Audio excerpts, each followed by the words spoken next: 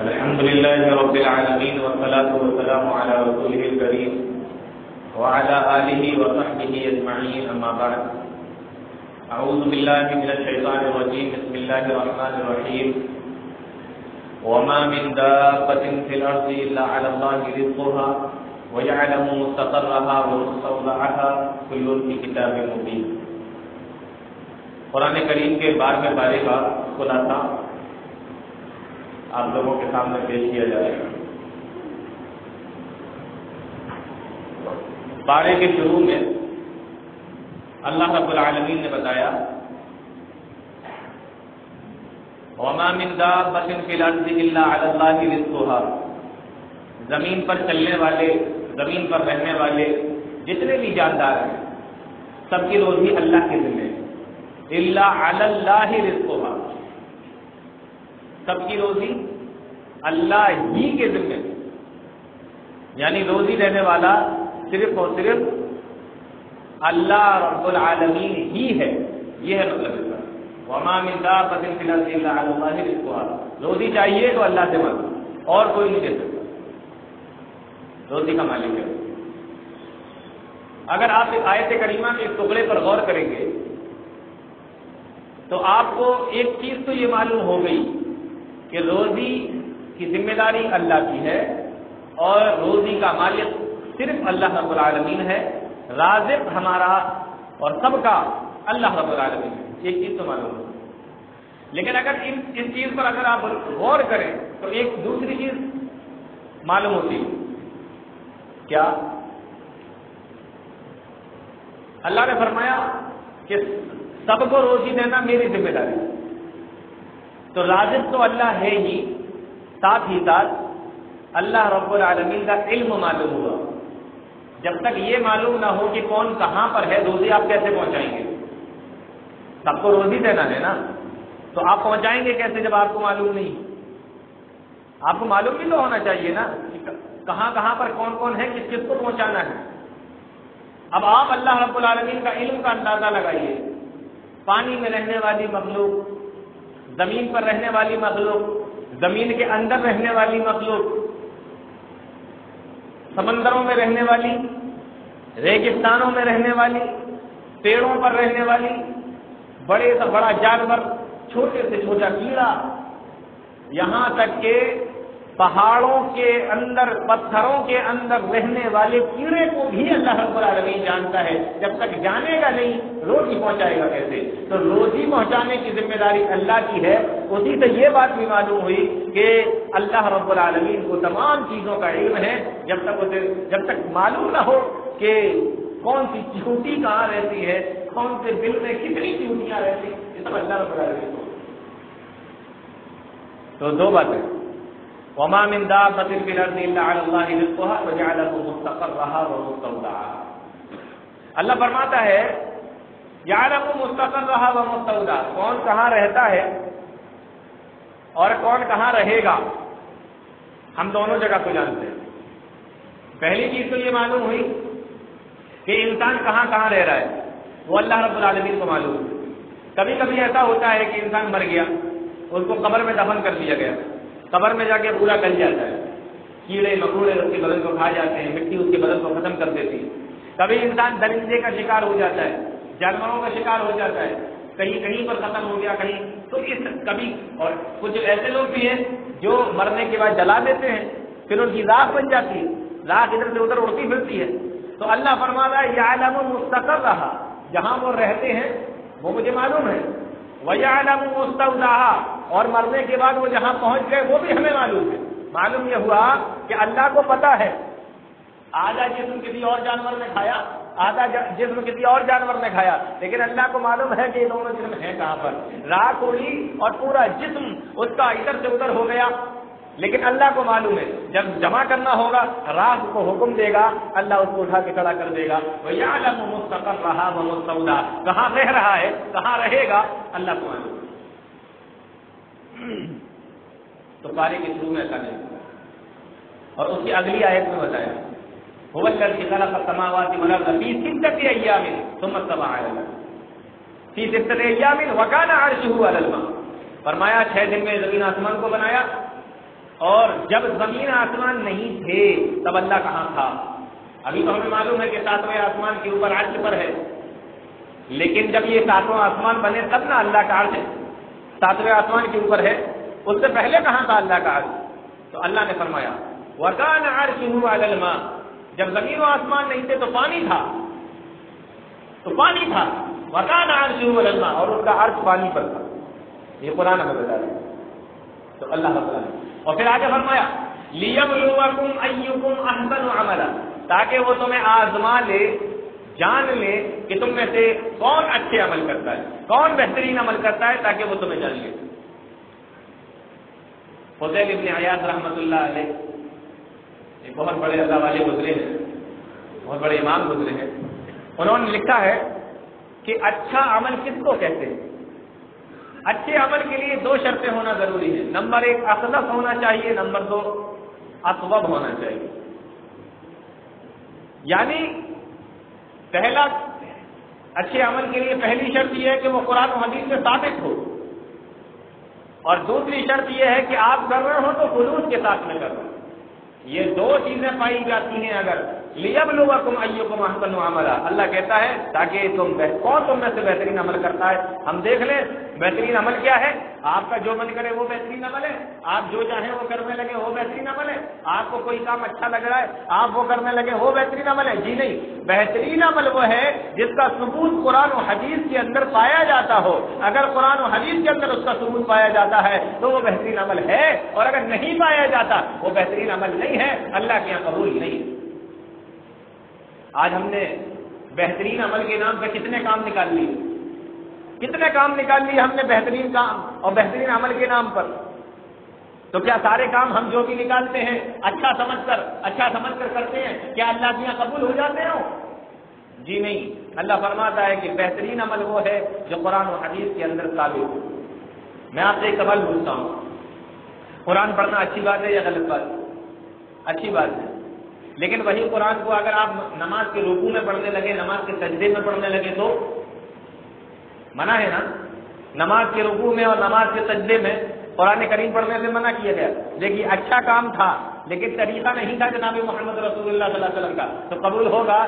جی نہیں، الٹا گناہ کے اندر اور شامل ہو جائیں گے۔ تو آپ کا من آپ یہ نہیں کہہ سکتے کہ ارے، میں نے تو کتنا اچھا کام کیا، قرآن ہی تو بڑا ہے۔ قرآن ہی تو پڑھا ہم نے، اور کیا کیا؟ جی نہیں ہاں قرآن آپ نے پڑھا، لیکن نبی کا طریقہ نہیں تھا۔ نبی نے وہاں نہیں پڑھا، آپ وہاں کیوں پڑھ رہے ہیں؟ نہیں مانا جائے گا۔ عملہ اچھا عمل وہ ہے جس پر نبی کی مہر لگی ہو، نبی کا طریقہ ہو اور خلوص کے ساتھ میں کیا جائے۔ اور اس کے آگے اللہ نے فرمایا، وَلَئِنْ أَذَقْنَا الْإِنسَانَ مِنَّا رَحْمَةً ثُمَّ نَزَعْنَاهَا مِنْ۔ تعجب کی بات دیکھو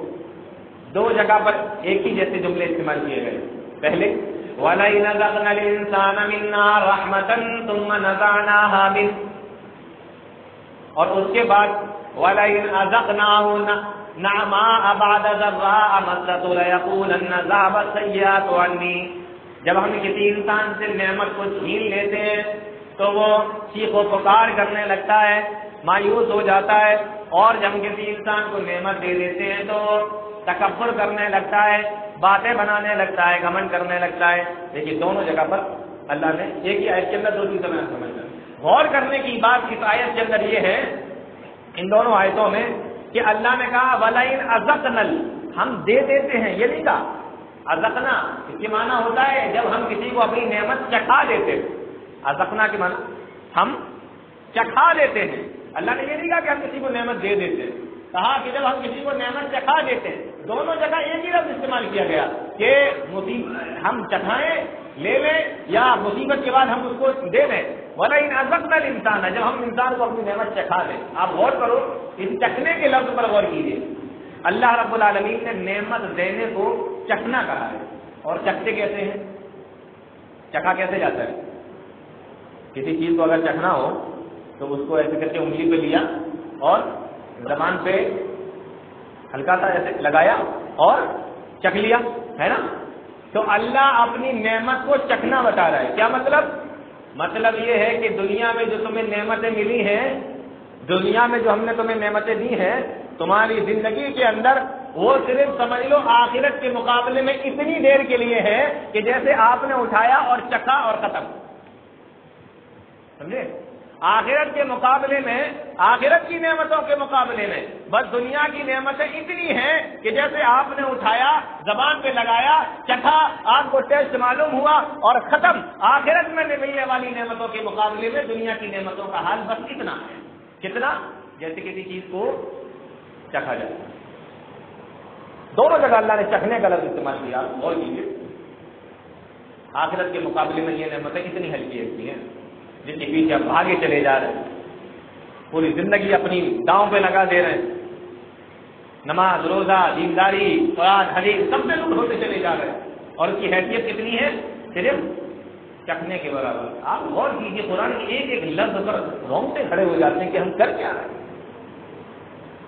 جو نعمت ہمیں صرف اتنی دیر کے لیے ملنے والی ہے، جتنی دیر چکھا جاتا ہے کسی کھانے کا بھی لفظ اللہ استعمال کر دیتا۔ تو سکون ہو جاتا کہ چلو کھانا آدمی کوئی دس منٹ میں کھاتا، کوئی پندرہ منٹ میں کھاتا، کوئی بیس منٹ میں کھاتا۔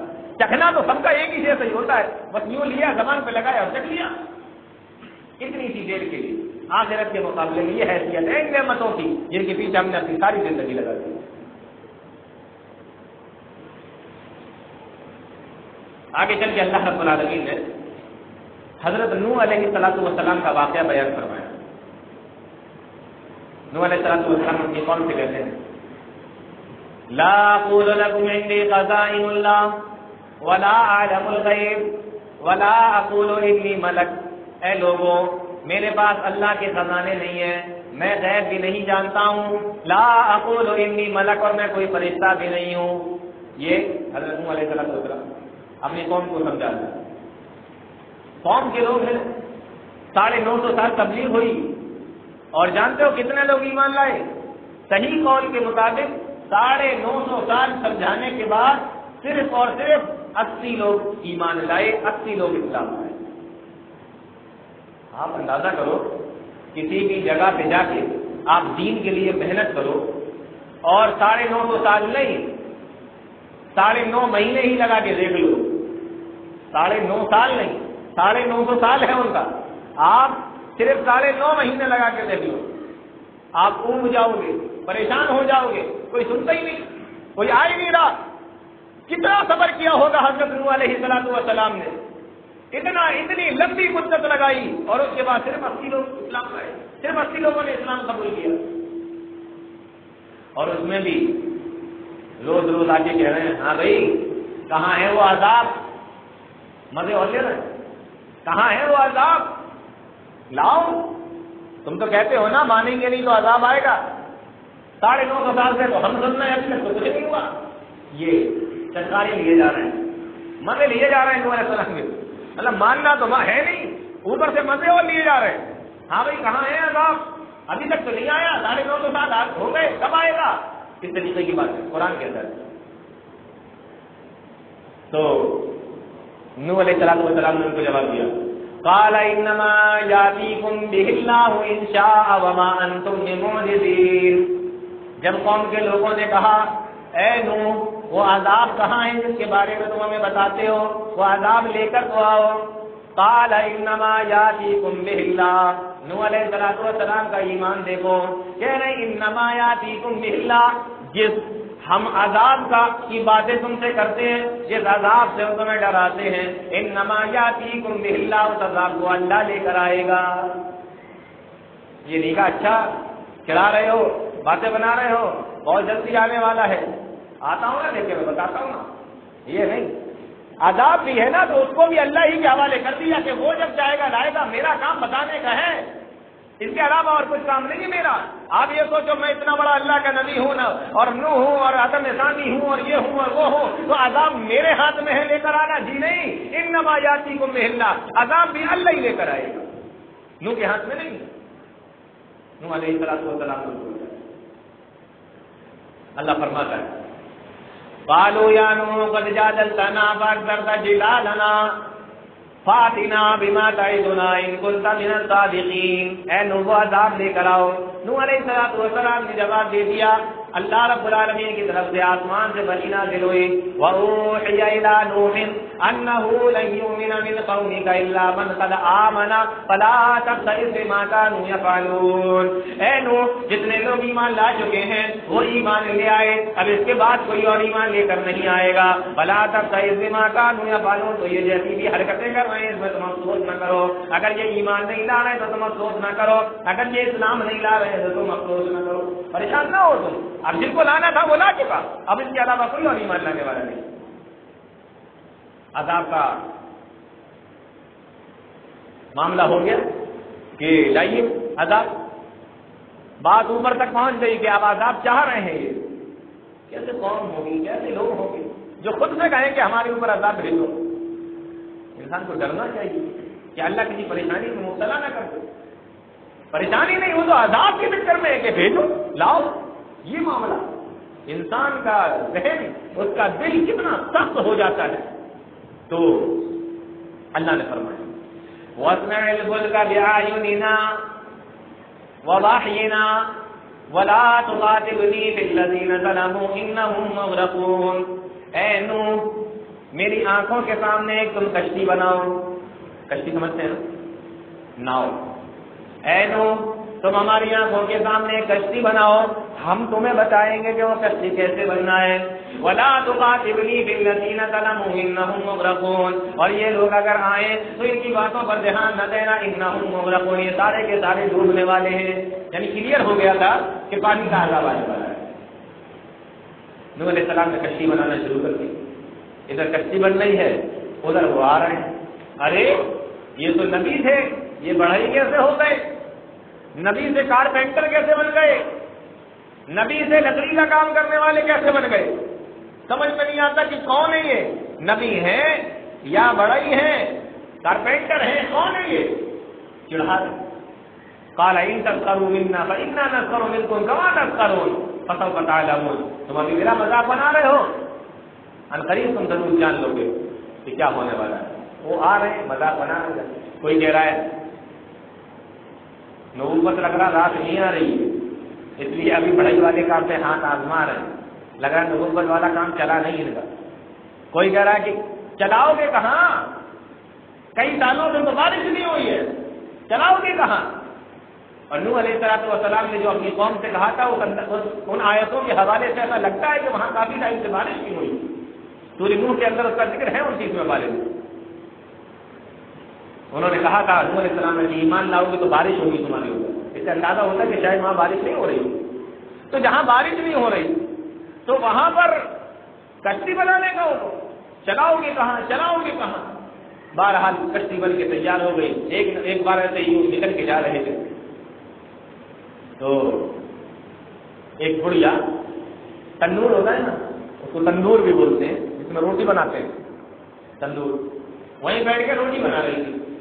انہوں نے یوں کر کے دیکھا۔ اچھا نو ہے۔ نو میں نے سنا ہے کہ کشتی بنا رہے ہو۔ کہا کہ ہاں۔ کشتی تو بنا رہے ہو لیکن پانی تو ہے نہیں۔ چلاؤ گے کہاں؟ وہ بڑھیا روٹی بناتے ہوئے مذاق بنا رہی۔ چلاؤ گے کہاں؟ پانی تو ہے نہیں۔ آہا۔ اللہ رب العالمین۔ اس کی یہ باتیں سنی بڑھیا تھی نو علیہ السلام والسلام نے جب یہ معاملہ دیکھا موسا علیہ نو علیہ السلام والسلام نے یہ معاملہ دیکھا۔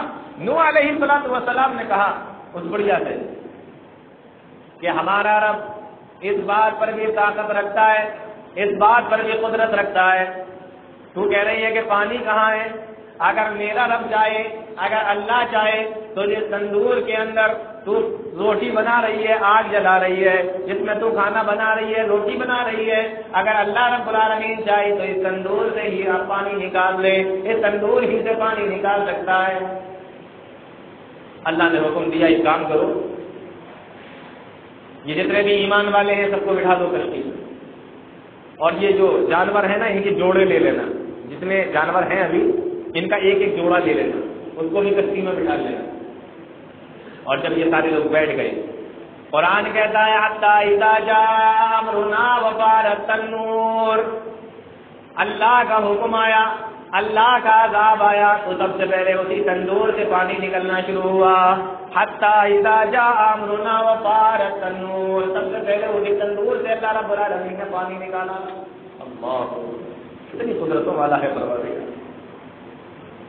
اب یہ پانی جب پڑنا شروع ہوا، سب طرف پانی پانی۔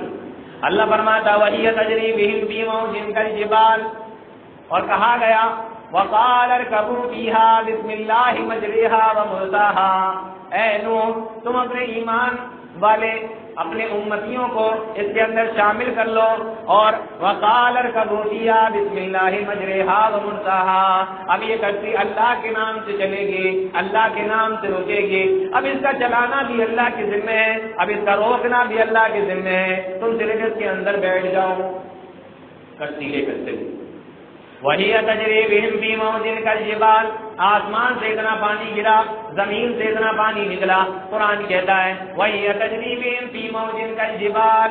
وہ کشتی اتنی بڑی بڑی لہروں کے اندر چل رہی تھی، اتنی بڑی بڑی لہریں تھی جیسا کہ کل جبال، جیسا کہ بڑے بڑے پہاڑ ہوتے ہیں۔ اتنی بڑی بڑی اونچی اونچی لہریں۔ اور اس میں اللہ رب العالمین وہ کشتی کو چلا رہا ہے۔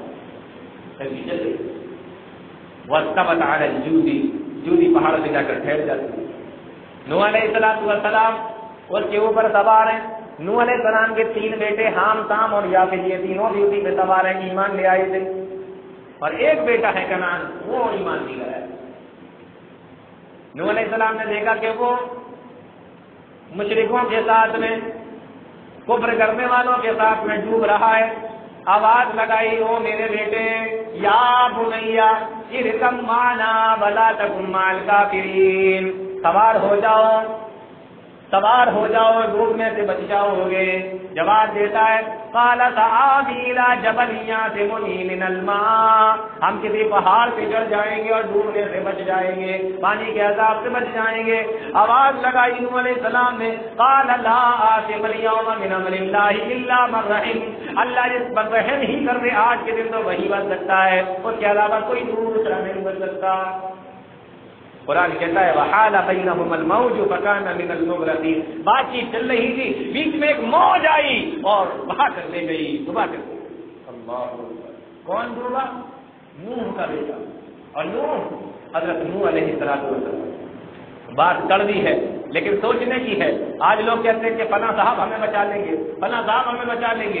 ادھر نو ہے، نبی ہے، آنکھوں کے سامنے بیٹا ڈوبا۔ اور اللہ نے فرمایا کہ اے نو یہ ڈوب گیا۔ اس کو بچانے کی تم دعا بھی مجھ سے نہیں کر سکتے۔ اس کے بچانے کے لیے تم مجھ سے کہہ بھی نہیں سکتے کہ اللہ کو اس کو بچائے بتائیے، نبی کا معاملہ یہ ہے۔ اور آج لوگوں کے خیالات کیا کیا ہیں وہ آپ دیکھیے۔ بیٹا ڈوب رہا ہے آواز لگائی۔ اے میرے پروردگار، انہو لیس من اہلک۔ آواز لگائی ہے میرے پروردگار، یہ میرا بیٹا میرے تو اہل سے میری اولاد ہے، میرا پریوار ہے، میرا خاندان ہے، میرے گھر سے ہے، یہ ڈوب رہا ہے۔ اے میرے پروردگار، اس کو بچا لے۔ اللہ نے آواز دی، یا نوح، انہو لیس من اہلک۔ اے نو، یہ تیری اولاد نہیں، یہ تیرا بیٹا نہیں، تیرے خاندان سے نہیں۔ کیا معلوم ہوا کہ اگر شرک ہے، اگر شرک موجود ہے، تو اللہ اولاد ماننے کو لے جائے نو علیہ السلام تو سلام کا بیٹا ہے، لیکن کہا کہ تیرے گھر سے نہیں، تیرے اہل سے نہیں ہے یہ۔ تیرے اہل سے وہ لوگ ہیں جو تیرے اوپر ایمان لائے۔ تو پتا یہ چلا کہ سب سے بڑا رشتہ اسلام کا رشتہ ہوتا اس سے بڑا کوئی رشتہ نہیں ہوتا۔ دیکھو، جو سگا بیٹا ہے، اس کو بیٹا نہیں کہا جا رہا ہے۔ لیکن جو لوگ ایمان لائے، ان کے بارے میں کہا جائے، وہ تیرے اہل ہیں، وہ تیرے خاندان کے ہیں، وہ تیرے گھر کے تو اسلام کے رشتے سے بڑا کوئی رشتہ نہیں ہوتا۔ نو علیہ السلام والسلام کو اللہ نے سمجھایا۔ آئندہ ایسا سوال مت کرنا کہ بیٹے کو بچا لے۔ یہ سوال آپ پوچھا تو پوچھا۔ نو علیہ السلام والسلام نے ایسا کہ آگے چل کر اللہ رب العالمین نے ایک بڑی پیاری بات بیان فرمائی دیکھو۔ اس کی تو ساری باتیں بڑی پیاری ہیں۔ فرمایا، وَيَا قَوْمِ تَغْفِرُوا رَبَّكُمْ ثُمَّ تُوبُوا إِلَيْهِ إِنَّ رَبِّي رَحِيمٌ وَدُودٌ۔ وَيَا قَوْمِ تَغْفِرُوا رَبَّكُمْ ثُمَّ تُوبُوا إِلَيْهِ۔ اے لوگوں تم اللہ سے استغفار طلب کرو اور اسے توبہ کرو۔ غور کرنے کی بات یہ ہے کہ ایک ہی آیت کے اندر اللہ نے استغفار کو اور توبہ کو بیان کیا ہے۔ ایک ہی آیت کے اندر دونوں چیزیں بیان فرما لی استغفار کرو اور توبہ کرو۔ کیا مطلب؟ مطلب یہ ہے کہ جو گناہ تم سے ہو گئے ہیں، اس کے لیے استغفار کرو۔ اور آئندہ کوئی گناہ کرنا مت، اس کے لیے توبہ کرو۔ گناہ کب گناہ سے معافی کب ملتی؟ اللہ کی توبہ کب قبول ہوتی ہے؟ کہ آپ پرانے والے گناہ چھوڑ دیں اور آئندہ کبھی گناہ نہ کرنے کا اللہ سے وعدہ کریں، تبھی تو توبہ قبول ہوتی ہے۔ اور اگر آپ پچھلے والے چھوڑ دیں لیکن آئندہ پھر کرنے لگے تو توبہ قبول ہوگی جی نہیں۔ اس لیے اللہ نے فرمایا، یا قوم استغفروا ربکم ثم توبوا الیہ۔ ایک ہی آیت کے اندر دونوں چیزیں بیان فرما دی کہ پرانے جو ہے، اسے چھوڑ دینا اور آئندہ اگلے گناہ کرنا مت۔ اور آگے کی جملہ دیکھو، ان ربی رحیم ودود بے شک تمہارا پروردگار رحیم ودود۔ رحم کرنے والا ہے، محبت کرنے والا ہے۔ کیا مطلب ہوا اس کا؟ رحم کرنے والا ہے تو سمجھ میں آتا ہے۔ کہ گناہ معاف کر دے رہا ہے رحم نہیں کرتا تو معاف کیسے کرتا؟ یہ تو سمجھ میں آ رہا ہے۔ لیکن آگے ودود کا لفظ لے کر آئے کہ اللہ ودود بھی ہے، محبت کرنے والا بھی ہے۔ کیا مطلب؟ مطلب یہ ہے کہ انسان کبھی کبھی غلطی معاف کر دیتا ہے۔ مان لیجیے آپ کے ساتھ کسی نے غلط کیا، آپ کے ساتھ کسی نے برا کیا، آپ نے اس کو معاف کر دیا۔ ٹھیک ہے نا؟ آپ نے اس کو معاف کر دیا۔ لیکن آپ دل میں اس سے نفرت کرتے ہیں۔ معاف تو کر دیا۔ لوگ آئے، ارے معاف کر دو ہوگا۔ معاف کر دیا، لیکن آپ کا دل اس سے لگتا نہیں۔ دل اس سے ملتا نہیں۔ آپ کا من نہیں کرتا اس سے بولنے کا۔ معاف کر دیا آپ نے۔ ایسا ہوتا ہے کہ نہیں ہوتا؟ انسانوں کے ساتھ ایسے ہی ہوتا ہے کہ معاف کر دیتے ہیں کبھی کبھی لیکن اس سے بولنے کا پھر من نہیں کرتا، اتنا دن کھٹا ہو جاتا ہے اس کی طرف اللہ کا معاملہ ایسا نہیں۔ ان ربی رحیم الودود اللہ جس کو معاف کر دیتا ہے اسے محبت کرنے لگتا ہے۔ یہ فرق ہے، ہم سے اور اللہ۔ ہم معاف کر دیں، لیکن وہ کسک دل سے نہیں جاتی۔ لیکن اللہ کا معاملہ نہیں۔ اللہ جس کو معاف کرتا پھر اسے محبت کرنے لگتا ہے۔ وہ چیز نہیں رہتی پھر۔ ان ربی رحیم الودود اللہ رحم کرنے والا ہے، محبت کرنے والا ہے۔ اور ایک آیت اور دیکھو اس کے آگے کی۔ اللہ نے فرمایا، وما کانا رب کلی ہو لے کر پورا وما کانا رب کلی ہو لے کر پورا اللہ رب العالمین کسی بستی والوں کو ہلاک نہیں کرتا اللہ کسی بستی والوں کو برباد نہیں کرتا، ہلاک نہیں کرتا۔ وہ مسلم جبکہ اس بستی کے اندر رہنے والے لوگ ایک دوسرے کی اصلاح کرنے والے ہوں، سمجھانے والے ہوں، دین کی دعوت دینے والے ہوں، امر بالمعروف نہیں انل منکر کرنے والے ہوں۔ بلائیاں کا حکم دیتے ہوں، برائیوں سے منع کرتے ہوں آیت کو پھر سے سنو، ایک بات بتاتا ہوں آپ کو۔ وما كان ربك ليهلك القرى بظلم واهلها مصلحون اللہ کسی بھی بستی والوں کو ہلاک نہیں کرتا، برباد نہیں کرتا، جبکہ اس بستی کے اندر مسلحون رہتے ہو یعنی اصلاح کرنے والے رہتے ہو بول دیجیے اصلاح کرنا اس کے لیے مسلحون کا لفظ استعمال کیا جیسے بستی میں علماء ہوتے ہیں، عالم ہوتے ہیں، علماء ہوتے ہیں، وہ اصلاح کرتے ہیں۔ جمعہ کے دن خطبہ ہو رہا ہے درد ہو رہا ہے ویسے بھی کسی کسی سے ملتے ہیں، ملاقات کر رہے ہیں، سمجھا رہے ہیں، قرآن حدیث کی بات بتا رہے ہیں۔ یہ ہے لوگوں کی اصلاح۔ اللہ نے یہ کہا کہ اصلاح کرنے والے ہوتے ہیں تو میں ہلاک نہیں کرتا۔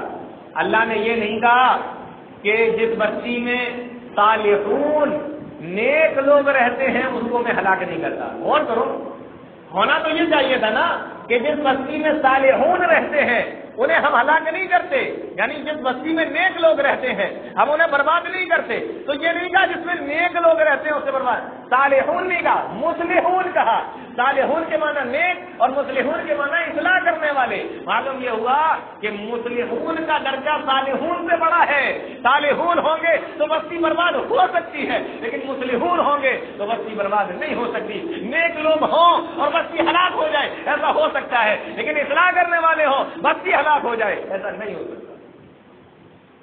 تو سمجھ میں آ رہا ہے؟ یہ مقام ہے علماء کا۔ یہ مقام ہے اصلاح کرنے والوں کا۔ یہ مقام ہے لوگوں کے درمیان میں بھلائیوں کا حکم دینے والوں کا۔ اور برائی اس لیے علماء سے بڑی محبت کیا۔ علماء کا بہت بڑا مقام۔ وما کان رب کا قرآن ظلم وہ مسلم اور اس کی آگے کی آیت دیکھیے، اللہ فرماتا ہے۔ وَلَوْ شَاءَ رَبُّكَ لَجَعَلَ النَّاسَ أُمَّةً وَاحِدَةً وَلَا يَزَالُونَ مُخْتَلِفِينَ إِلَّا مَن رَّحِمَ رَبُّكَ۔ ہم نے لوگوں کو بنایا۔ اگر ہم چاہتے تو سب کو ایک ہی امت بنا دیتے ایک ہی جماعت بنا دیتے لیکن لوگ برابر آپس میں اختلاف کرتے رہیں گے۔ یہ انسان کی فطرت ہے۔ ولا يزالون مختلفین لوگ آپس میں اختلاف کرتے رہیں گے۔ الا من رحم ربک مگر جن کو، جن کے اوپر اللہ رحم کر دے، وہ اختلاف سے بچ جائے گا۔ اس ٹکڑے پر ذرا پڑھ کرو۔ پھر سے۔ لوگ برابر اختلاف کرتے رہیں گے۔ بلا يزالون مختلفین الا من رحم ربک مگر جس کو تمہارے جس کا جس کے اوپر تیرا رب رحم کر دے الا من رحم ربک مگر جس کے اوپر اللہ رحم کر دے، وہ اختلاف سے بچ جائے گا۔ کیا مطلب؟ مطلب یہ ہے کہ آج کل لوگ آپس میں اختلاف کرتے ہیں۔ پھر ایک حدیث سناتے ہیں۔ کون سی؟ اختلاف امتی رحمت۔ کیا کہتے ہیں؟ پیارے نبی نے فرمایا کہ میری امت کے اندر اختلاف رحمت ہے۔ سنا ہے کہ نہیں؟ یہ حدیث سنائی جاتی ہے لوگوں میں۔ میری امت کا اختلاف رحمت ہے۔ یہ قرآن کی آیت کے خلاف ہے۔ پہلے تو یہ حدیث ہے نہیں۔ اختلاف امتی نام یہ حدیث نہیں۔ اور قرآن قرآن کی اس آیت کے بھی خلاف ہے۔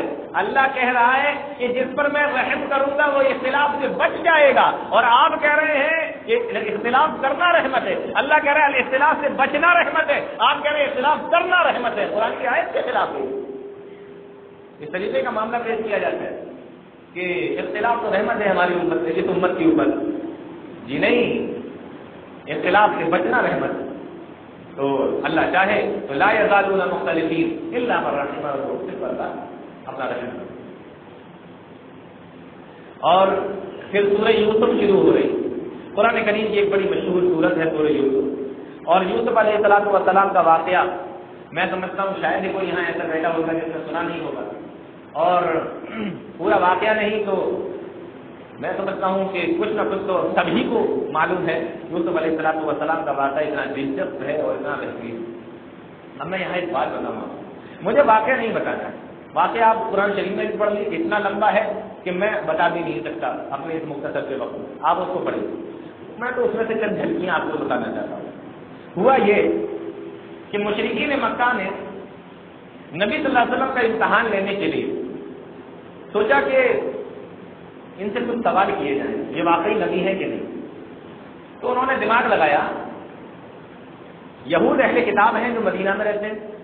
اہل کتاب مطلب ان سے پہلے انہیں کیا نبی آئی موسا علیہ السلام تو کہا کہ وہ اہل کتاب ہیں، انہوں نے توریت پڑھی ہے، انجیل پڑھی ہے۔ تو انہوں ان کو پتا ہوگا کہ آنے والا جو نبی ہے، اس کی کیا نشانیاں ہیں۔ تو چلو ان سے پوچھ کے آتے اگر وہ بتائیں گے کہ ان کے اندر وہ نشانیاں ہیں، تو ہمیں بھی پتہ چل جائے گا۔ تو یہودیوں کے پاس پہنچے گی لوگ فریش اور کہا کہ وہ مکہ کے اندر جو نبی ہے تو سمجھ میں نہیں آ رہا نبی ہے کہ نہیں ہے کہا کہ دیکھو تم ان کے پاس جاؤ اور جانے کے بعد ان سے ایک سوال پوچھنا۔ وہ سوال اگر وہ بتا دے تو سمجھ لینا کہ وہ اللہ کے سچے نبی ہے کیونکہ نبی کے علاوہ کوئی دوسرا نہیں بتا سکتا۔ وہ چیز نبی کے علاوہ کوئی دوسرا نہیں بتا سکتا۔ کون سا سوال؟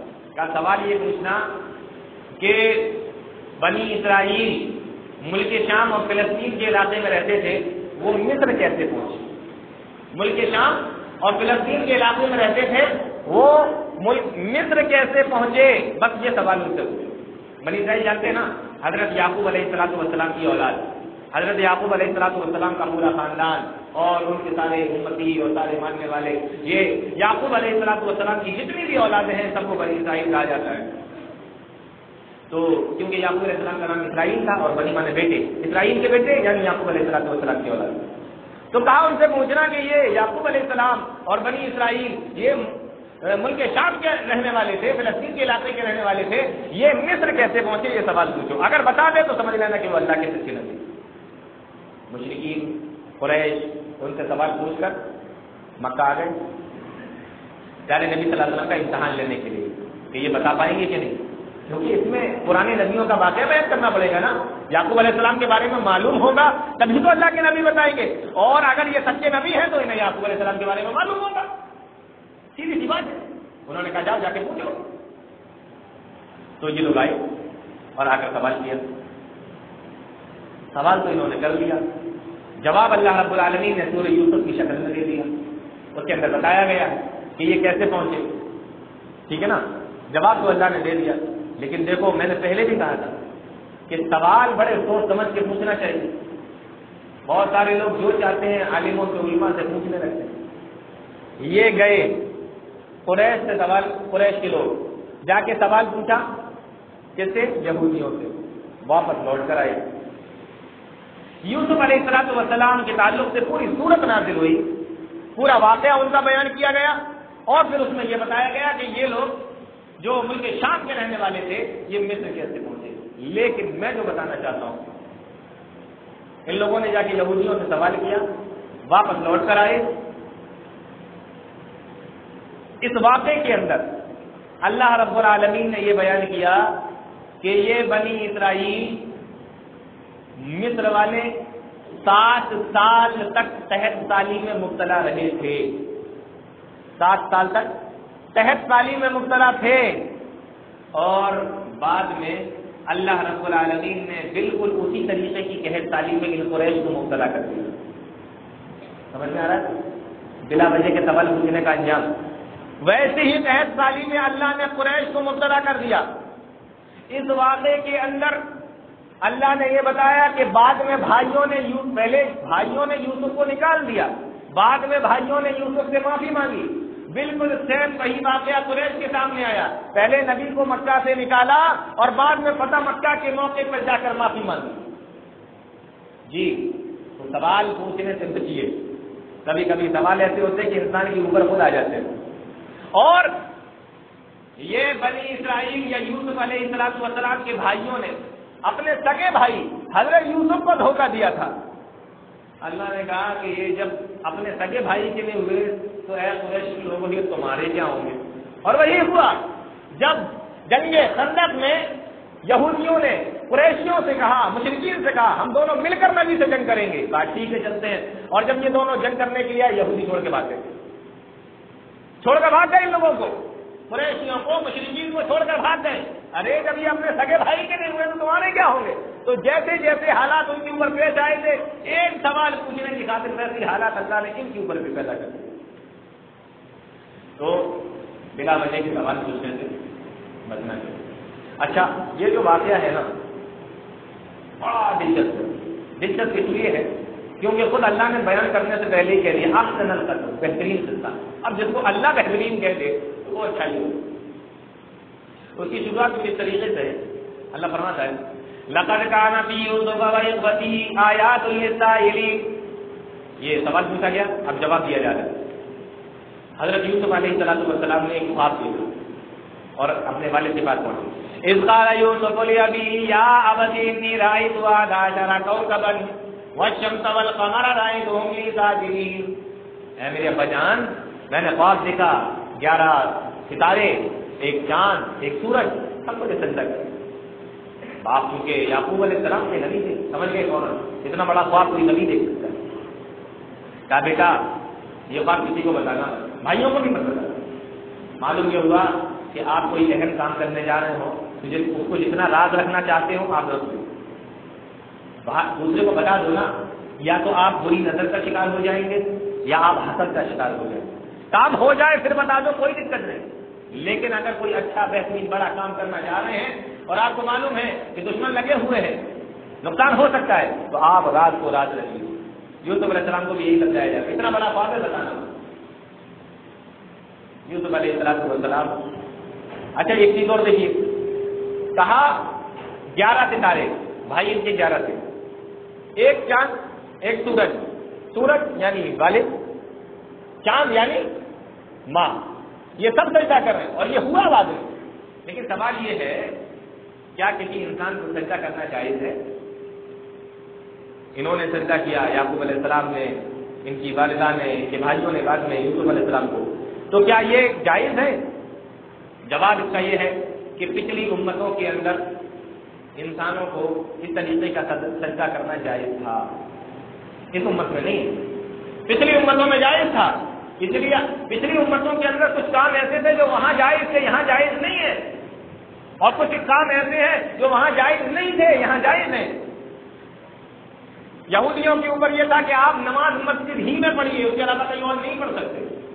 اس امت کے لیے کہا گیا کہ ساری زمین تمہارے لیے مسجد ہے، جہاں نماز کا وقت ہو جائے وہاں پڑھ دو تو کچھ کام اسی طریقے سے اس دور کے اندر اس امت میں دو بہنوں سے ایک ساتھ شادی کرنا جائز تھا۔ اس امت سے حرام کر دیا گیا۔ ون چشمڑوں مہینے ہوتا ہے دو بہنوں کو اس طرح جمع نہیں کر سکتے۔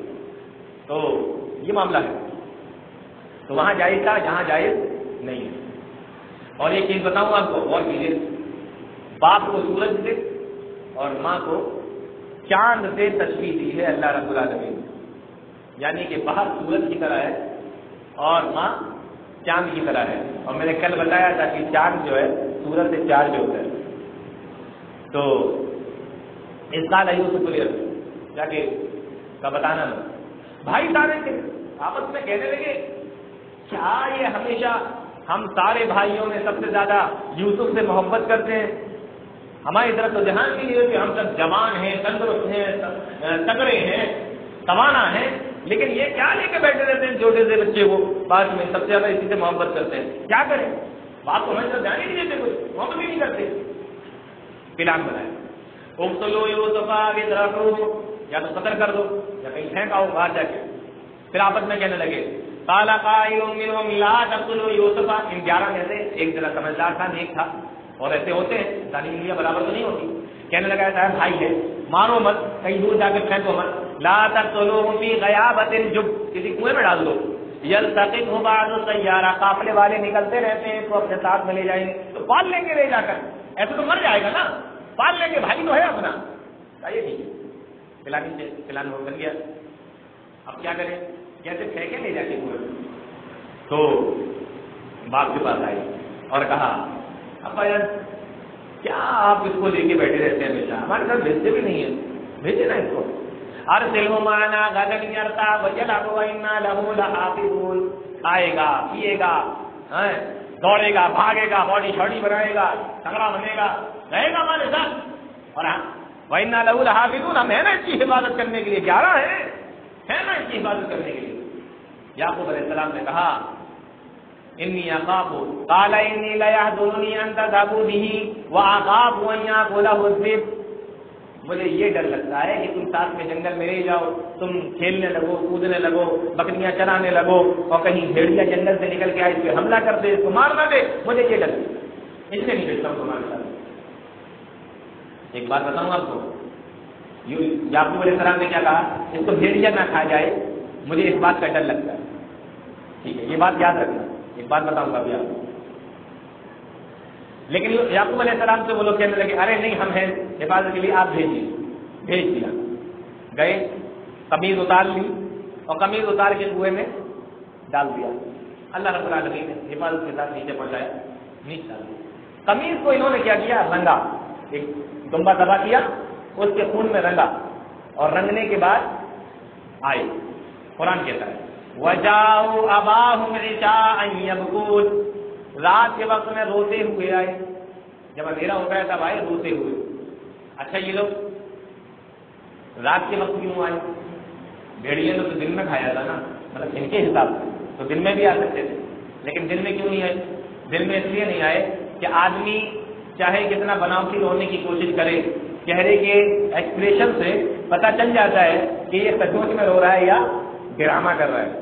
جن کی روشنی میں اندازہ ہو جاتا ہے کہ یہ سچ مچ میں رو رہا ہے یا ڈرامہ کر رہا ہے۔ تو یعقوب علیہ السلام تو نبی تھے۔ وہ تو فوراً پہچان لیتے۔ تو کہا کہ اندھیرا ہو جائے، میرا رونا میرا چہرہ نظر نہ آئے، رونا نظر آئے، چہرہ نظر نہ آئے، تاکہ پتہ نہ چلے کہ یہ جھوٹے رو رہے ہیں یا سچ میں رو رہے ہیں۔ تو رات میں چلے۔ گئے اور دن میں آ جاتے تو یعقوب علیہ السلام پھر سے بھیجتے تھے کہ ارے، ابھی جاؤ ڈھونڈ کے آؤ، کہاں تو رات میں آئے، تاکہ ان کے بناوٹی رونا ظاہر نہ ہو۔ قمیض لائے کہا، بجان، انا ذهب، انا ذهبنا نستبق وتركنا يوسف عند متاعنا۔ سامان کے پاس یوسف کو چھوڑ دیا اور ہم لوگ کھیل کود میں لگ گئے۔ فاکلا الذئب۔ تو اس کو بھیڑیا کھا گیا۔ اب یہاں ایک بات بتانے والا ہوں۔ کان کھول کر غور سے سننا۔ جب یہ بھائی اجازت لینے آئے تھے تو یعقوب علیہ السلام نے کیا کہا تھا؟ مجھے یہ ڈر لگتا ہے کہ اس کو بھیڑیا نہ کھا جائے۔ واپس لوٹے تو کون سا بہانہ بنایا کہ اس کو بھیڑیے نے کھا لیا؟ پتا یہ چلا، بچے جو گھر میں سنتے ہیں، جو گھر میں دیکھتے ہیں، وہی سیکھتے ہیں۔ یہاں سے بھیڑیے کی کہانی سن کے گئے تھے۔ لوٹ کے آئے تو بھیڑیے ہی کی کہانی لے کر آئے۔ آپ گھر میں کیا بولتے ہو؟ اس سے بچوں پہ بہت اثر پڑتا ہے۔ گھر میں آپ کیسی باتیں کرتے ہو؟ اس کا اثر بچوں کے اوپر بہت پڑتا ہے۔ آپ اندازہ کرو کہ کون سا بہانہ بنائے، کون سا بہانہ بنائے، کون سا بہانہ بنائے۔ کاغذ بنانے بنانے کی ضرورت ہی کیا ہے؟ باپ نے تو ایک کلو دے دیا ہے نا، بھیڑیے والا، بس وہی لے کے چلیں گے۔ جی تو گھر میں بہت سنبھل کے بولنے کی ضرورت ہے بچوں کے سامنے۔ آپ کی کون سی بات ہے، وہ کیا لے لیتے ہیں؟ آپ اندازہ بھی نہیں کر سکتے۔ سمجھ میں آیا؟ تو میں کیا بتانا چاہ رہا تھا؟ جی۔ تو باپ نے کہا مجھے بھیڑیے کا ڈر لگتا ہے، بچوں کے دماغ میں وہی بٹھا لیا۔ واپس آئے تو وہی ایک دم بہترین سا بہانہ بنا کے لائے کہ آپ نے جو کہا تھا وہ تو گھر کے اندر بچوں کی تربیت کے لیے آپ کیا بول رہے ہیں، بچے اس سے کیا لے رہے ہیں؟ یہ بہت ضروری ہے کہ آپ سوچ سمجھ کے بولیں۔ اچھا قمیض دی تو قمیض بالکل صحیح سلامت۔ مجرم تو تھے لیکن اناج تھے۔ یعقوب علیہ السلام نے جب قمیض دے گی کہا کہ ارے یہ تو کہیں سے پھٹی بھی نہیں۔ نہ ناخون کا نشان، نہ دانت کا نشان، نہ کہیں سے پھٹی، نہ چری، کچھ۔ کہا کہ بچوں بڑا سمجھدار پھر لیا تھا پہلے قمیض اتاری، پھر کھایا۔ اتنا سمجھدار پھیر لیا تو آج تک نہیں دیتا۔ معلوم یہ ہوا، دیکھو ایک بار بتا معلوم یہ ہوا کہ قاتل کتنی بھی صفائی ستھرائی سے قتل کرے، کہیں نہ کہیں پر کوئی ایسا کلو چھوڑ دیتا ہے کہ اسی پہ چھان بین کرتے ہوئے پولیس وہاں تک پہنچ جاتی ہے۔ چھان بین کرنے والے اس قاتل تک پہنچ جاتے ہیں۔ انہوں نے سارا کام بڑی صفائی سے کیا۔ ایک کلو چھوڑ دیا کہ قمیض کو بیچ میں سے پھاڑنا بھول گئے۔ بس وہیں سے پتا لگ گیا کہ یہ اصلی مجرم یہی ہے بانا کر تو آدمی کتنی بھی صفائی سے کام کرے، چوری کرے قتل کرے، کہیں نہ کہیں کچھ ایسا سوچا، کوئی کلو ایسا چھوٹ جاتا ہے کہ وہیں سے انویسٹیگیشن شروع ہوتی ہے اور پھر جا کے وہ پکڑ لیے جاتے اور قافلے والے لے کر گئے، مصر میں لے جا کر بیچ دیا، عزیز مصر نے خرید لیا اور اس کے بعد میں وہاں رہنے لگے۔ پھر دھیمے دھیمے کر کے بڑے ہوئے، بڑے خوبصورت تھے، بہت خوبصورت تھے۔ عزیز مصر کی بیوی ہی کا خود دل آ گیا اور اس کے بعد میں وہ قرآن کہتا ہے کہ سب دروازے دروازے بند کیے اور برائی کے لیے بلایا، بدکاری کے لیے بلایا۔ حضرت یوسف علیہ السلام السلام لے کر کر بھاگے اور جیسے ہی آخری دروازہ کھولا، وقت مقل بابا۔ جیسے ہی دروازہ آخری والا کھولا، تو دیکھتے ہیں کہ سامنے ہی عزیز مصر کھڑا ہوگا اب پیچھے پیچھے اس کی بیوی اور آگے آگے یہ۔ تو فوراً کہتی ہے ماں جیسا ہو گیا من اراد حالی کا سون اللہ اس جنا ہوا صاحب ارے تم اس کو بات رہے تھے اپنے گھر کے اندر، دیکھو یہ تمہاری بیوی کے ساتھ برائی کرنے کا ارادہ کرتا ہے۔ اللہ اکبر۔ اللہ اپنے نبی کو دیکھو کیسے بچاتا ہے۔ پہلے تو وہاں سے اللہ نے نکال دیا۔ ساتوں دروازے بند تھے، لیکن ساتوں دروازے اللہ نے کھلوا دیے۔ اور اس کے بعد قرآن کے الفاظ پر غور کرو آپ۔ یہ نہیں کہا من اراد بیاہ کا جو تیری بیوی کے ساتھ ارادہ کرتا ہے، جو تیری بیوی کے ساتھ بدکاری کرتا ہے، نہیں، بدکاری کا ارادہ کرتا ہے۔ اللہ نے اپنے نبی یوسف علیہ السلاط والسلام کو اتنا صحیح سلامت بچا لیا کہ وہ الزام بھی لگا رہی ہے، تو ارادے کا لگا رہی ہے، بدکاری کا نہیں لگا رہی ہے۔ سمجھ میں آیا میں کیا کہنا چاہ رہا ہوں؟ یہ نہیں کہا، اس کی بیوی نے کہ جو تیری بیوی کے ساتھ بدکاری کرتا ہے جی نہیں۔ تیری بیوی کے ساتھ بدکاری کا ارادہ کرتا ہے۔ اللہ نے اپنے نبی کی عظمت کو ایسے برقرار رکھا کہ بدکاری کا نہیں، بدکاری کے ارادے کا الزام لگوایا۔ دونوں میں فرق ہے نا؟ بدکاری کا الزام مطلب بدکاری کی، اور بدکاری کے ارادے کا الزام مطلب کرنا چاہتے نہیں، کی نہیں۔ دونوں میں بہت فرق ہے۔ حالانکہ یہ الگ بات ہے وہ کرنا بھی نہیں چاہتے تھے، وہ تو اس نے الزام لگایا تھا۔ تو اللہ رب العالمین نے بچا لیا۔ اور اس کے بعد میں پھر وہ مصر کے اندر مشہور ہو گیا کیا یہ تو اپنے غلام کے اوپر عاشق ہو گئی ہے، فرشتہ ہو گئی تو اس نے کہا اچھا غلام کے اوپر؟ ابھی دکھاتی ہوں غلام کیسا ہے۔ سب کی دعوت کی۔ اور اس کے بعد یوسف علیہ السلام السلام کو نکالا، چھری وری پکڑا دی ہاتھ میں۔ اب یہ نکلے، تو جیسے ہی دیکھا، خوبصورتی کو دیکھا، تو پھل کٹ رہے ہیں کہ انگلی کٹ رہی ہے تو پتہ ہی نہیں چلا۔ تو وہ کہتی ہے کہ دیکھا، اسی کے بارے میں تو ان سے کہتے تھے نا، غلام پہ آشی ہو رہی ہے، غلام پہ بڑے تو دیکھو۔ یہ تو بڑے سلام سلام سمجھ گئے کہ بہت بڑا معاملہ ہے۔ فوراً کہا، رب بھی سکن حق ہوئی زمین اللہ مجھے جیل پسند ہے۔ جہاں رہنا مجھے پسند نہیں عزیز مصر نے اٹھا کے جیل میں ڈال دیا۔ جیل میں پہنچے، ساتھ میں دو آدمی اور ان کو بھی کسی جرم میں لایا گیا تھا۔ انہوں نے خواب دیکھے۔ خواب دیکھے کہ ایک نے خواب دیکھا کہ میں شراب نہیں چھوڑ رہا ہوں۔ ایک نے خواب دیکھا کہ میرے سر کے اوپر روٹیاں رکھی ہوئی ہیں، پرندے اس میں سے نوٹ نوٹ کے کھا رہے ہیں۔ یوسف علیہ السلام کے پاس میں آئے۔ کہا کہ نبی نہ بتا دی ان نرا کا ملن محسنین ہم نے یہ دو خواب دیکھے ہیں، تو آپ اس کی ذرا تعبیر بتا دیجیے ان نرا کا ملن محسنین آپ ذرا اس کی تعبیر بتا دیں۔ ہم آپ کو نیک آدمی سمجھتے ہیں، آپ نیک آدمی دیکھ رہے ہیں۔ معلوم یہ ہوا، مومن کہیں بھی رہے، اس کا کردار اتنا اچھا ہونا چاہیے کہ جیل میں بھی ہے تب بھی پتا لگ رہا ہے یہ بندہ نیک ہے۔ یہ بندہ نیک ہے، جیل میں بھی اندازہ ہو رہا ہے، مومن کہیں بھی رہے، اس کا کردار ایسا ہونا چاہیے کہ دیکھ کے لگے کہ یہ تو نیک آدمی ہے۔ ان نارا کا منت موسمی آپ نیک آدمی لکھتے ہیں، آپ ذرا مجھے بتا یہ تو اسلام نے کہا، بیٹھو۔ بٹھایا۔ تعبیر بتانے سے پہلے ان کو توحید بتائی۔ اللہ۔ یہ تو نبی کا کام ہے۔ تعبیر بتانے سے پہلے توحید بتائی کہ توحید کیا ہے۔ یہاں ایک نقطہ یہ ملا کہ اگر آپ کسی غیر مسلم بھائی کے ساتھ کوئی دل جوئی کرتے ہیں، کوئی بھلائی کرتے ہیں، مان لیجیے آپ کا پڑوسی ہے، غیر مسلم ہے، بہت غریب ہے، بہت بیمار ہے، آپ اس کی پیسوں کے ذریعے مدد کرنا چاہتے ہیں، آپ اس کو دے دیجیے اسلام روکتا نہیں ہے، آپ اس کی دیکھ بھال کیجیے اسلام روکتا نہیں ہے، آپ پڑوسیوں میں کہا کیجیے لیکن جب آپ دینے جا رہے ہو اس کو تو کم سے کم آپ کا حق یہ بنتا ہے کہ آپ اسلام کی تعلیمات اس کو دیجیے اسلام کی اچھائیاں اس کو بتائیے اسلام کے بارے میں اس کو بتائیے کہ اسلام کیا ہے۔ اور وہ ایسے وقت میں سنے گا۔ ایسے وقت میں بہت غور سے سنے گا، کیونکہ اس کو ضرورت ہے۔ تو اسلام کی تعلیم یہ ہے کہ اگر آپ دے رہے ہو دینے سے منع نہیں، لیکن اسلام بھی بتاؤ کہ اسلام کیا ہے۔ تو یوسف علیہ السلام سے پوچھ رہا یوسف علیہ السلام نے کہا کہ ٹھیک ہے۔ تو پہلے اللہ کی توحید بیان کی اور اس کے بعد میں اس بات کی تعبیر بتائی۔ کہا کہ تم جو شراب نہیں چھوڑ رہے تھے، تمہیں پھر سے بادشاہ کی نوکری مل جائے گی۔ تم شراب پلاؤ گے بادشاہ کو۔ اور تم نے جو دیکھا ہے کہ روٹیاں اور وہ پرندے لے لے کے جا رہے ہیں، تمہیں پھانسی چڑھا دی جائے گی، پھر پرندے تمہیں نوٹ نوٹ سے کھا جائیں گے۔ جب اس میں سے وہ آدمی مار دیا گیا، یہ بچ گیا۔ تو یوسف علیہ السلام نے کہا کہ دیکھو، بادشاہ کے پاس جانا تو بادشاہ کے پاس جا کے میرا ذکر کرنا ایسے ایسے ایک آدمی ہے، بلا وجہ، بلا کسی جرم کے جیل کے اندر ہے اور ذکر کرنا۔ ٹھیک وہ گیا۔ قرآن کہتا ہے وہ گیا، بھول گیا۔ بہت لمبے اور ٹائم تک بھول گیا۔ نہیں آیا اس کو یاد۔ ایک دن بادشاہ نے خواب دیکھا۔ اور خواب یہ دیکھا کہ سات موٹی گائے ہیں، سات پتلی گائے ہیں۔ جو پتلی ہیں، کمزور ہیں، وہ موٹی تگڑی گایوں کو کھا رہی پہلے تو گائے کھاتی نہیں گائے کو۔ اور اس کے بعد کھائے بھی تو موٹی والی پتلی کو کھائے نا، کہ پتلی والی موٹی کو کیوں کھا رہی مطلب الٹے الٹا دیکھ رہا ہے۔ اور اس کے بعد میں سات ہری والیاں ہیں اور سات سوچی ہوئی پیلی خشک والیاں ٹھیک خواب دیکھا۔ تو وہ ان کے اپنے درباریوں سے پوچھ رہا ہے یا یو المنی کی روجا یا ان کو ان کو تم لے روجا تابرو دیکھو، بڑی ایک اچھی بات بتانے والا ہوں۔ کہ بتاؤ کچھ۔ یا یو المنی کی روجا میں نے ایسے سے خواب دیکھا ہے، کچھ بتاؤ۔ بادشاہوں کے پاس اس کے درباری بھی تو رہتے ہیں نا۔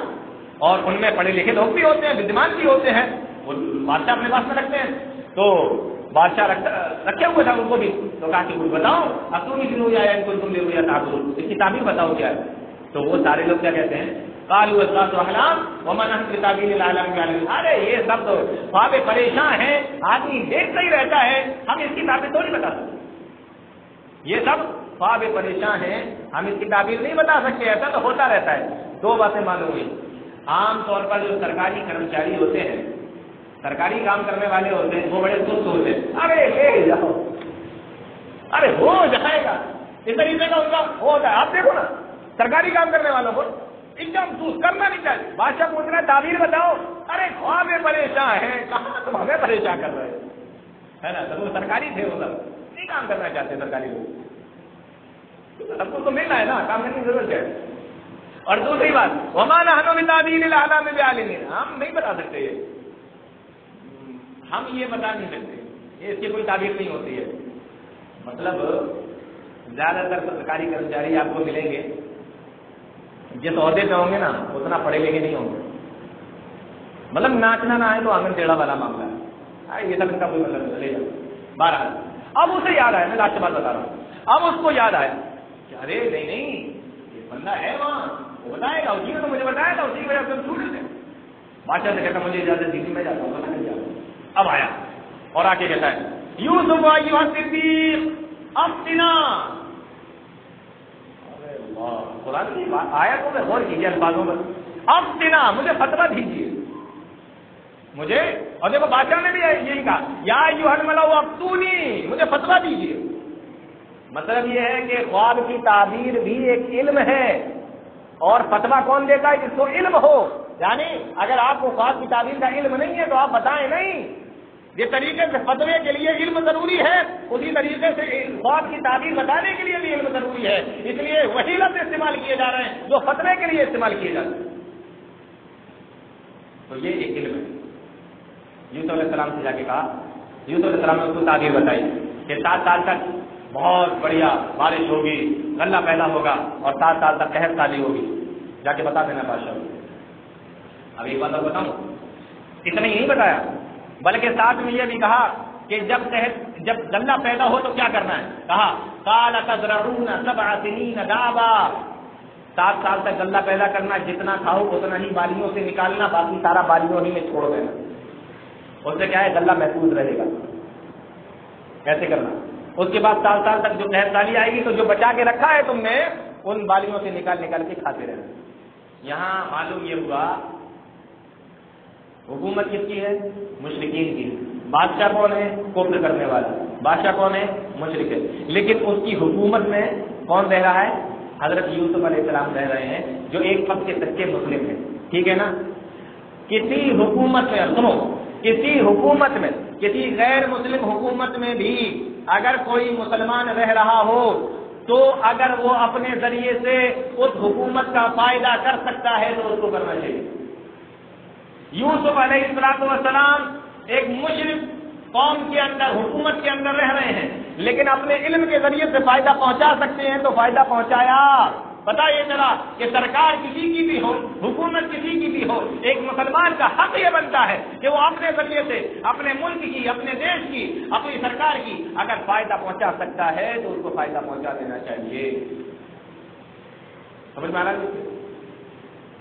جب بادشاہ کو پتا چلا، بادشاہ کہتا ہے، اتنا قابل آدمی، اور ابھی تک جیل میں، لے کر آؤ. جب لے کر آئے، نہ پہنچے۔ تو کہا کہ ابھی ایسے نہیں نکلیں گے۔ پہلے میرا معاملہ صحیح کروائیے۔ کون سا معاملہ؟ کیا رے ان عورتوں کی وجہ سے ہم جیل میں گئے تھے۔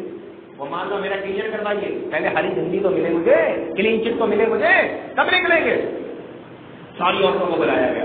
ان سے پوچھا گیا بس الحمد اللہ کی پہچان پوچھا گیا اس سے۔ تو انہوں نے سب نے کہا یہ واقعی اللہ کا بڑا اور وزیرہ بنتا ہے، بڑا پیارا بنتا ہے۔ اور میں نے اس سے کوئی برائی نہیں دیکھی۔ جو کچھ کیا تھا، وہ ہم ہی لوگوں نے کیا تھا۔ الآن حق حق الحق۔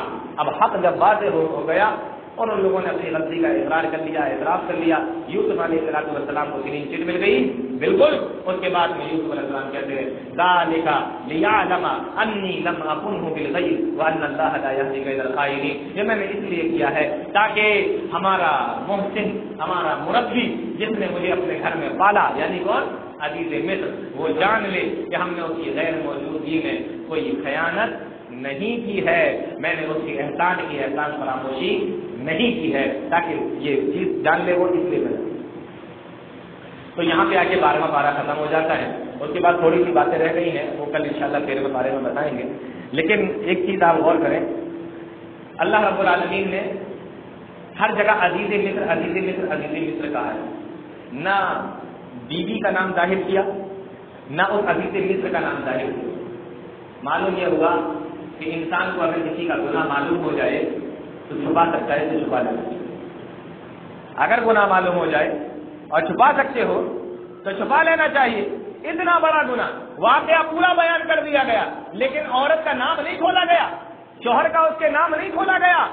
پتا یہ چلا کہ اگر کسی کا کوئی گناہ ہمیں معلوم ہو جائے، تو اس کے نام کو پبلک کے اندر ظاہر نہ کریں، اس کے نام کو چھپا لیں۔ یہ اللہ رب العالمین کا طریقہ ہے۔ اللہ تعالیٰ تمام لوگوں کو نیک عمل کی توفیق دے قرآن حدیث کو سمجھنے کی اس کی توفیق اللہ فرمائے۔ آمین۔ تفضل یا رب العالمین۔ آپ الحمد للہ